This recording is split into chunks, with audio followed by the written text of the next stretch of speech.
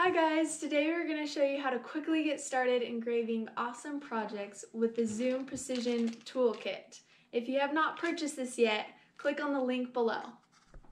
When you receive the kit, these are the materials that are in it.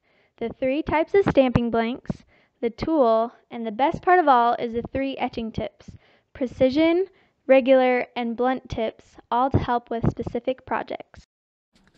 In today's project, we are going to be using the one inch circle that comes in your kit, and you will also need your normal mat and some double-sided tape. Now let's head to Cricut Design Space to show you how to get started. All right, everybody, here we are at Cricut Design Space on your computer, tablet, or iPhone. I want you to open a new project on the new on the Canvas page. We're simply going to write some text on our one inch circle today. So this is what I chose. Then you can choose your font. You can either pay for a certain font, you can choose what you like, but today we're just going to choose from the free ones. Um, I like some boxy bold letters. Next, you're going to just shrink it down. We got to shrink it all the way down to oh, one inch box where our circle is going to be. So we've got to match this up as good as we can to where we think it'll fit on our circle. One thing I like, you can kind of stretch out the font a little bit right here.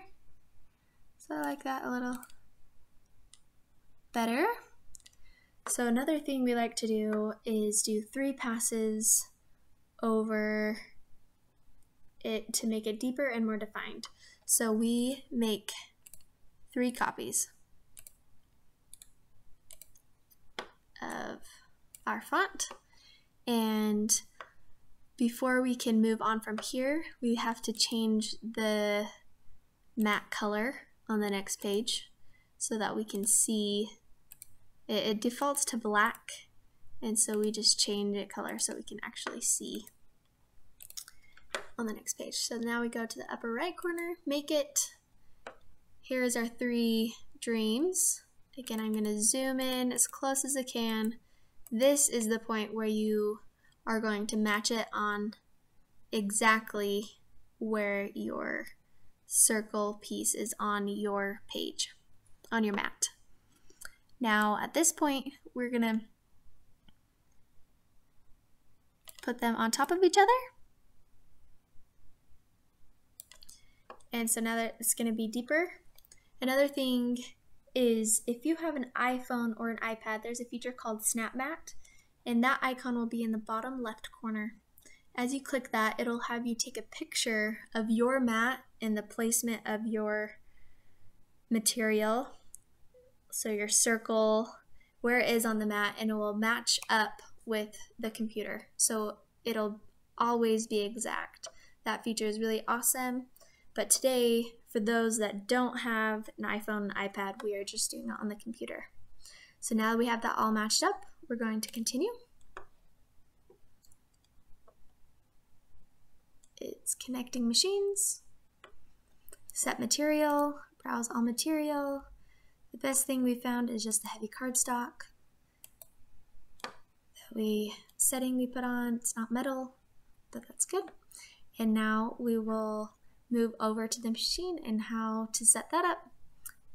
Before we load the mat, we're going to put double-sided tape down on our mat where we're putting our circle so that it doesn't move around while it is etched. Now with the circle, there's a white side, it's plastic, and you peel it off to make sure there's no scratches on our circle. Now we're going to place it where right exactly in the center of the square where we want that.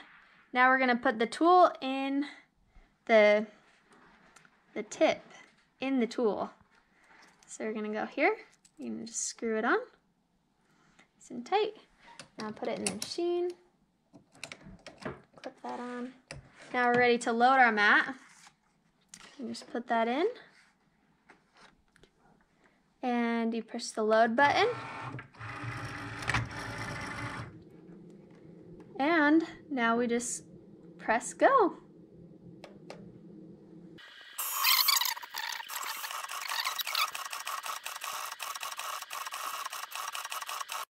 Before you unload the mat, you're going to want to check out your edge and see if you like it or not. And if you like it, go ahead and unload the mat. If not, you're going to, you can take out the tool and you can change the tip.